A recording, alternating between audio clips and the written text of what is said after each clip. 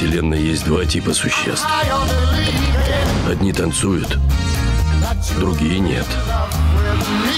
Я понял, да. Я танцор, а Гамора не очень. Твоя дева должна быть убогая.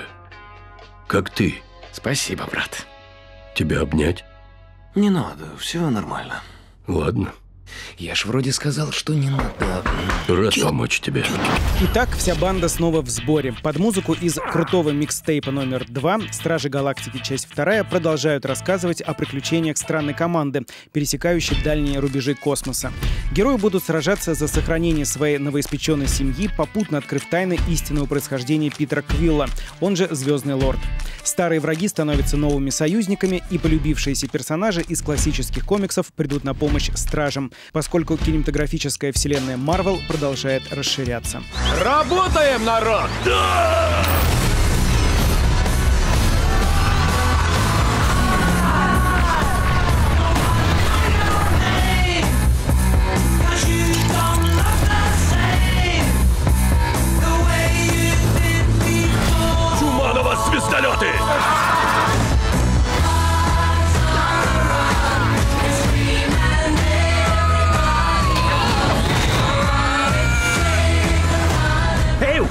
Есть скотч? Хочу замотать эту кнопку смерти! Не, скотча у нас нет. Ну или синяя изолента хотя бы! Ты атомную бомбу с собой таскаешь, мог бы и изоленту прихватить. А чё я-то крайний? Хорош припираться!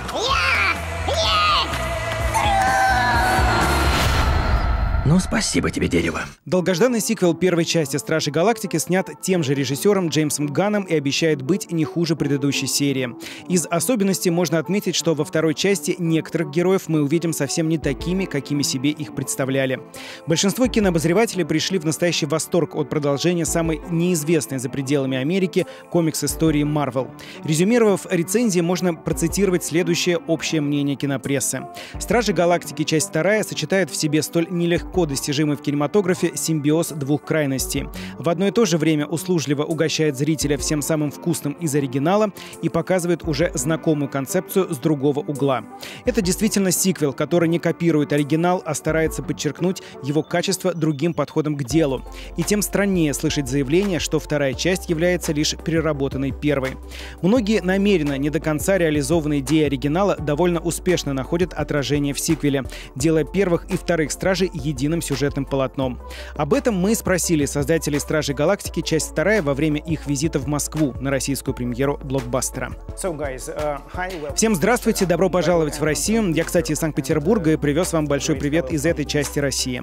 Мои личные поздравления с отличным новым фильмом. На мой взгляд, он лучше первой части. Джеймс, в связи с чем э, мой первый вопрос именно вам, как режиссеру. Вы действительно планировали и делали не столько очередное хорошее кино в жанре комикс-блокбастер, сколько сняли настоящую семейную драму. Совершенно верно. Тема семьи — это ядро, на котором держится весь сюжет нашего киноцикла. Мы не можем полюбить персонажей, не зная их истории, не имея возможности узнать их поглубже, понять, как сложилась их судьба. Сегодня в Голливуде снимается огромное количество блокбастеров, напичканных спецэффектами, супервзрывами и прочими визуальными аттракционами. Но все они скучны для аудитории, потому что забывают о ключевом элементе любого фильма — истории его персонажей, которым будут симпатизировать или ненавидеть зрители. Людям становится неинтересно наблюдать за поверхностными героями. Вот поэтому я всегда снимаю фильмы с душой, так сказать.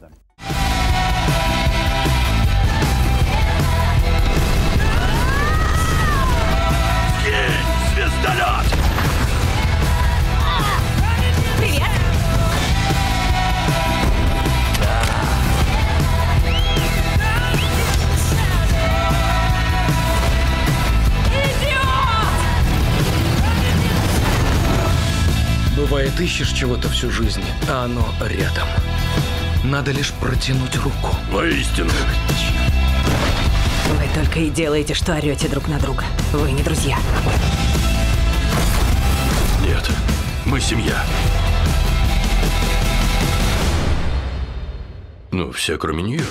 Мой следующий вопрос как раз связан с темой семьи. Почему во второй части «Стражи» вы выбрали именно схему отец-сын, а не мать-сын? Матери мы специально посвятили первый фильм «Стражи Галактики». Там мы активно рассказывали о взаимоотношениях между главным героем Питером Квиллом и его мамой, которую он потерял слишком рано. Причем специально дали понять зрителям, что Питер Квилл любил только свою маму, но под финал фильма он осознает, что готов чувствовать подобные чувства кому-то еще, а точнее к его напарнице Гаморе. И вот во второй части «Стражи Галактики» мы встречаем Питера уже со следующей психологической травмой детства.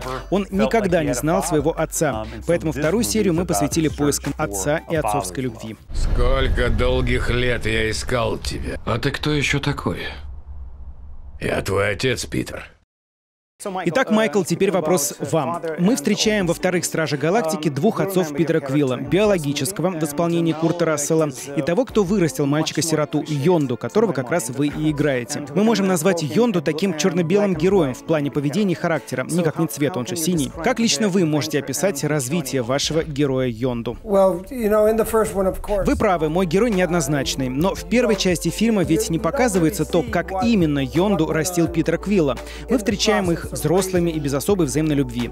Питер был очень проблемным ребенком, выражаясь нашим языком, потому что вечно вляпывался в проблемы и плохие истории, хотя и рос в окружении космических воров, которым и принадлежал Йонду, его приемный отец. И только во второй части нашей истории становится понятно, что Йонду специально жестко воспитывал Питера, наказывая его за что-то, а порой специально кидая в сложные обстоятельства, чтобы парень научился рассчитывать во время трудностей только на свои собственные силы. В общем, воспитание Питера было нелегким процессом, тем более он рос в окружении некоего родительского суррогата, к которому относились все члены банды Йонду. Хотелось бы, наверное, чтобы его судьба сложилась иначе, но что было, то было. И вот во второй части «Стражей» Питер Квилл постоянно сталкивается с призраками своего прошлого, своего детства. Питеру предстоит разобраться в своих чувствах и понять, какой отец ему дороже. Ведь эта травма детства сидит в нем как некая опухоль, которую нужно вырезать раз и навсегда. И мой персонаж Йонду вынужден приложить максимум усилий, чтобы спасти жизнь и душу своего воспитанника, Питера Квилла, он же Звездный Лорд. Одним касанием я могу считывать чувства. Вот ты явно влюблен. Да, наверное, я влюблен в эту жизнь, в этот удивительный мир. Женщину? Ты желаешь ее? Да брось, что за чушь? Вот эту? Это бред!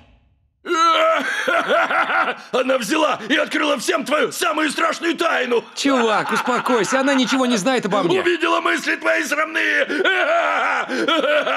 Давай меня! Меня теперь проверь! Пом, задам вопросы вам. Я, кстати, очень хорошо помню ваши отличные французские фильмы, в которых вы играли настоящих первоклассных экшен-героинь.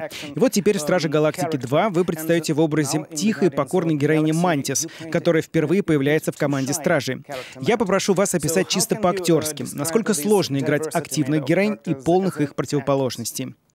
Um, no, I Вы знаете, я обожаю играть сильных женщин из категории негодяйка или стерва, но, с другой стороны, я полюбила свою героиню Мантис за ее робость. А роль привлекательна по-актерски тем, что она построена вокруг эмоций. Ведь Мантис обладает силой эмпатии.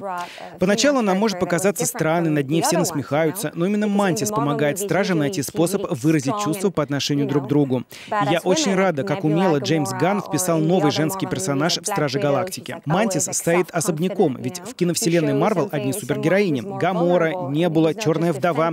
Все они озлобленные самоуверенные дамы. Мантис тем самым демонстрирует тот факт, что в супергеройском кино есть место и сильным женщинам, и вполне себе простым. Мне это разнообразие очень нравится. Вы вообще кто, чтобы столько мнить о себе? Ну,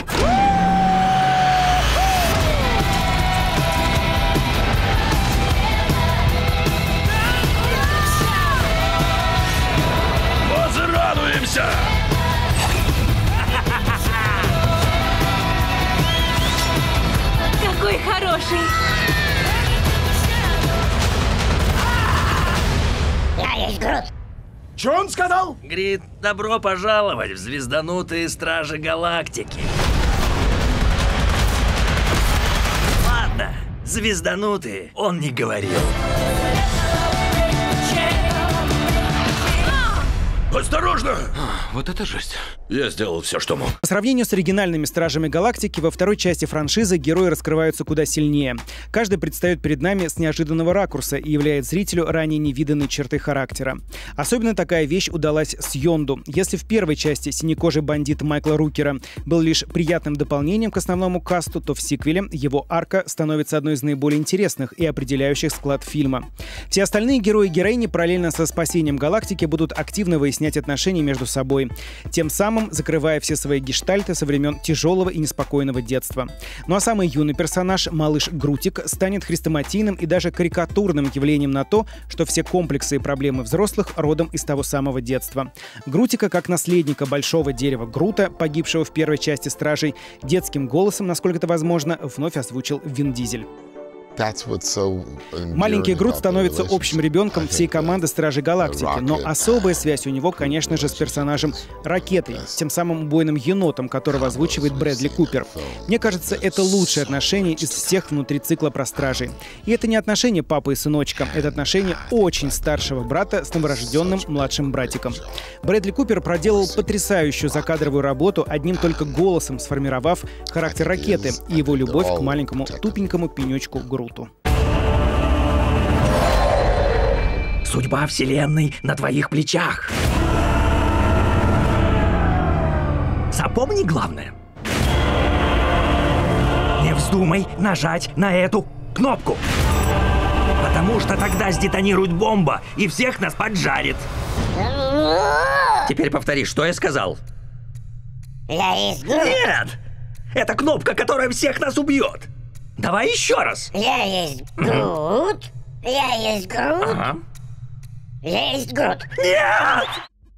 Ракета — это вечная машина-убийца. Но во второй части «Стражи» у него важная миссия. Не просто быть частью одной команды, но еще биться, драться и управляться со всем видом смертельного оружия и одновременно приглядывать за Грутом, который сам пока не может постоять за себя. Смотреть за динамикой их отношений очень весело и мило. В общем, вся мимимишная часть новых «Стражей Галактики», как нетрудно догадаться, лежит в плоскости детского героя Грута.